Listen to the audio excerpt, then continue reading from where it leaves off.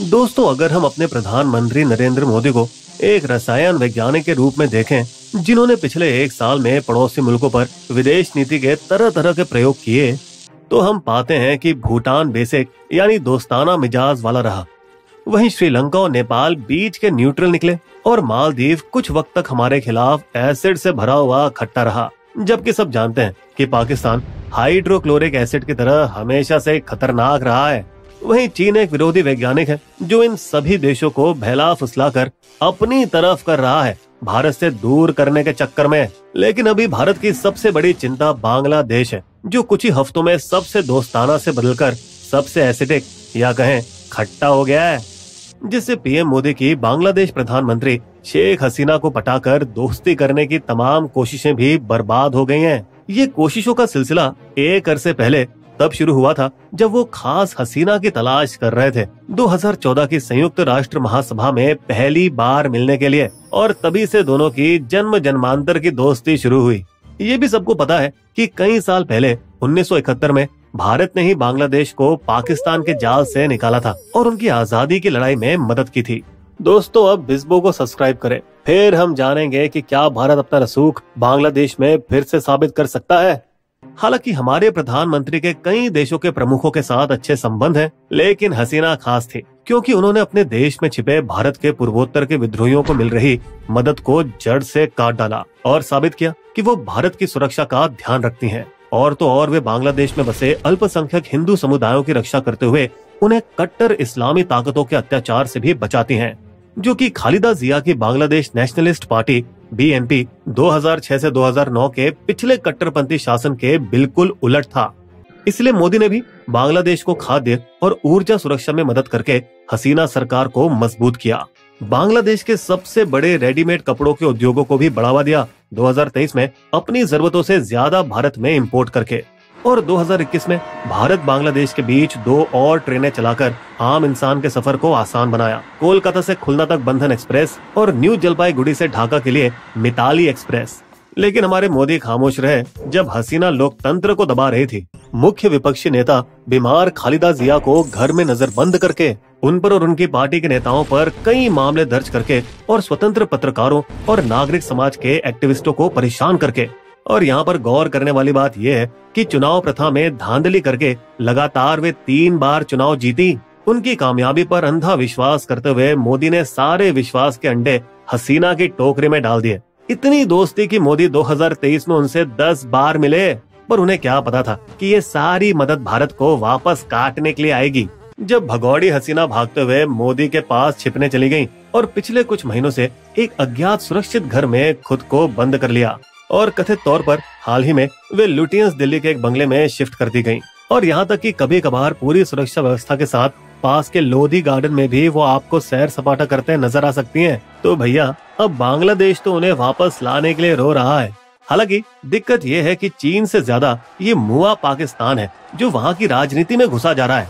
ये बांग्लादेश के संस्थापक पिता और 1971 के आज़ादी की लड़ाई के नायक शेख मुजीबुर रहमान को हटाकर उनकी जगह लोगों के दिलों में मोहम्मद अली जिन्ना को घुसाने की कोशिश में लगा हुआ है। ये पाकिस्तान अभिमानी बंगालियों पर उर्दू भी थोपते हुए वहीं बांग्लादेश के नए मसीहा, नोबेल शांति पुरस्कार विजेता मोहम्मद यूनुस ने अपनी 16 सदस्यों वाली कैबिनेट में बांग्लादेश नेशनलिस्ट पार्टी के समर्थकों और कुछ कट्टरपंथी जमात इस्लामी के तरफदारों को भी रखा है, जो एक पाकिस्तान का चमचा कट्टर इस्लामिक गुट है और पाकिस्तान की आईएसआईएस की खूब चाटता है। जिनके प्रभाव में यूनुस जनाब ने अलकायदा से जुड़े एक आतंकवादी संगठन के मुखिया को आज़ाद तक कर दिया। तो ये तो साफ़ है कि बांग्लादेश भारत की छत्र छाया से बाहर निकल गया है, क्योंकि यूनुस को खुद चुल मची है अपने नागरिकों को पाकिस्तान के साथ समझौता कराने में, वो ही पाकिस्तान, जिसकी सेना ने 1971 में हज़ारों बांग्लादेशियों की क्रूर तरीके से हत्या करी थी। हमारे यूनुस अंकल तो हसीना और यहाँ तक कि खालिदा जिया के बिल्कुल उल्टा कर रहे हैं, जिन दोनों ने पाकिस्तान से दूरी बनाए रखी है। यहाँ तक कि संबंधों को मज़बूत बनाने के लिए आज बांग्लादेश पाकिस्तान से हथियार खरीद रहा है। हालाँकि आज भी वो चीन ही है, जो इसका सबसे बड़ा हथियार सप्लायर है। चौहत्तर प्रतिशत भारत को बांग्लादेश में घुस रहे चीन के बारे में चिंता करनी है, जो पक्का किसी न किसी बड़े प्रोजेक्ट के साथ बांग्लादेश में अपनी ताकत तो बढ़ाएगा ही। पहले से चीन मोंगला पोर्ट को बढ़ाने में पैसा लगा रहा है, जहाँ पर और चिट्टा गोंग पोर्ट पर भी उसका दबदबा है। और चीन ने बांग्लादेश को तीस्ता नदी का संचालन और पुनर्स्थापन करने की भी पेशकश की है, जो कि शुरू तो भारत के उत्तरी सिक्किम से होती है। हालाँकि, भारत को इसका श्रेय जाता है कि उसने मालदीव में कुछ इसी तरह के हालात बदलने में कामयाबी हासिल की, जब उसके नए राष्ट्रपति मोहम्मद मुइजू ने इंडिया बाहर निकलो के नारे के दम पर चुनाव जीता और भारत को उसके खोज और बचाव सैनिकों को अपने इलाके से बाहर निकालने के लिए मजबूर किया, जो कि फालतू की बात थी, क्योंकि हर एक फौजी के बदले बाद में भारतीय नागरिक ही उसकी जगह है। बस वो वर्दी में नहीं थे। लेकिन मुइजू को जल्द ही एहसास हो गया कि चीन अपने एक दशमलव तीन अरब डॉलर का कर्ज जबरन लेकर ही मानेगा। और जब भारत ने उसे काफ़ी सारा पैसा देकर मुश्किल में उसकी मदद की वो भी बिना किसी शर्त के। और ये भूलते हुए कि भारत के साथ बुरा सलूक हुआ था इसीलिए चीन के साथ थोड़ी इशकबाजी करने के बाद हमारे मुइजू मोदी की बाहों में वापस आ गए। आई लव यू मोटा भाई। इस बीच भारत के अलावा एकमात्र हिंदू राष्ट्र, नेपाल, जिसकी वर्तमान सरकार दो वामपंथी दलों का गठबंधन है। ये कम्युनिस्ट चीन की ओर ज़्यादा आकर्षित होती है। प्रधानमंत्री खड़ग प्रसाद शर्मा ओली उर्फ़ के पी ओली के हिंदू ब्राह्मण होने के बावजूद भी, उनकी सरकार ने एक तरफा फैसला करते हुए सौ रूपए के नोट पे नेपाल का एक नया नक्शा बना दिया। इतनी मजाल कि उसमें भारत की उत्तराखंड सीमा पर काला पानी लिपुलेख और लिपियाधुरा के विवादित इलाकों को अपने देश का हिस्सा दिखाया। और चीन से इतना पैसा लिया कि चीन ढेर सारे प्रोजेक्ट्स के साथ भारत को पीछे छोड़ते हुए नेपाल में सबसे बड़ा निवेशक बन गया।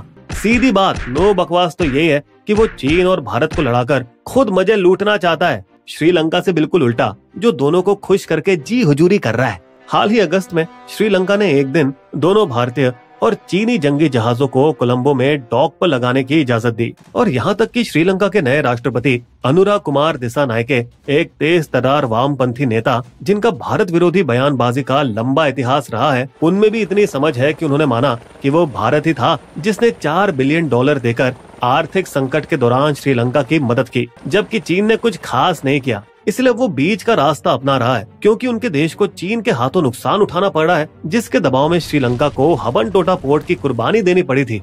भारत की एक लौती पक्की यारी बौद्ध देश भूटान के साथ है, जिसका पीएम मोदी तीन बार दौरा कर चुके हैं और वहाँ अक्सर पैसे देकर मदद भी करते हैं। पर क्योंकि भूटान डोकलाम प्लेट्यू नाम के एक बहुत ही रणनीतिक तिराहे पर बसता है, जिसके माध्यम से चीन ने 2017 में भारतीय इलाके में घुसने की कोशिश की थी, इसलिए वहाँ चीन सड़कें और बस्तियाँ बनाया जा रहा है। भूटान की नाराज़गी के बावजूद भी तो भारत बांग्लादेश पर अपना रसूख कैसे वापस हासिल कर सकता है दोस्तों? बांग्लादेश का रेडीमेड कपड़ों का उद्योग, जो कि उनकी विदेशी मुद्रा में पिचासी प्रतिशत का योगदान देता है, तबाह होने की कगार पर है। आप मानेंगे नहीं, पर अमेरिका खरीदारों को बांग्लादेश छोड़कर अभी से ही राजनीतिक रूप से ज़्यादा स्थिर देशों में धंधा करने की चेतावनी दी जा रही है तो वो समय दूर नहीं कि बांग्लादेश को भी वित्तीय संकट का सामना करना पड़ सकता है। तब वे किसकी ओर झोली फैलाएँगे, अत्याचारी चीन या दयालु दोस्त भारत? हालाँकि, फ़िलहाल भारत के लिए बड़ी समस्या है। हम चाहते हैं कि हसीना को वापस भेजा जाए।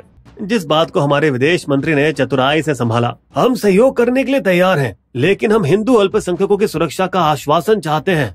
ध्यान दें कि वे चतुराई से उसी तरकीब का इस्तेमाल कर रहे हैं जो पाकिस्तान के साथ काम आई थी जब वो शांति की बातचीत फिर से शुरू करना चाहते थे। हम बातचीत फिर से शुरू करने के लिए तैयार हैं लेकिन पहले आपको आतंकवाद को रोकना होगा। विडम्बना ये है कि भारत और बांग्लादेश के बीच जो प्रत्यर्पण ट्रीटी 2013 में हसीना खुद लेकर आई थी, वो अब उन्हें परेशान करने वापस आ सकती है। हालाँकि, ये संभव नहीं है कि भारत अपने सबसे अच्छे दोस्त को छोड़ दे। भले ही ये दूसरों को ये साबित करने के लिए कि वे हर मुश्किल हालात में उनके साथ खड़े रहेंगे। बहरहाल, क्या लगता है दोस्तों, क्या हसीना जी रहस्यमय तरीके से दिल का दौरा पड़ने की वजह से अल्लाह को प्यारी हो सकती है, जिससे अपने आप ही भारत की समस्याओं का हल निकल जाए? बिस्बो की शायरी। बांग्लादेश और भारत के उलझ गए हैं पैंच। किसको थोड़ी ढील दें और किसको ले खेच? बरसों पहले हमने जिसका दिया था खुलकर साथ, आज उसी ने दुश्मन संग मिला लिए हैं हाथ। हमारे वीडियो कंटेंट के सोर्सेस आपको डिस्क्रिप्शन में मिल जाएँगे।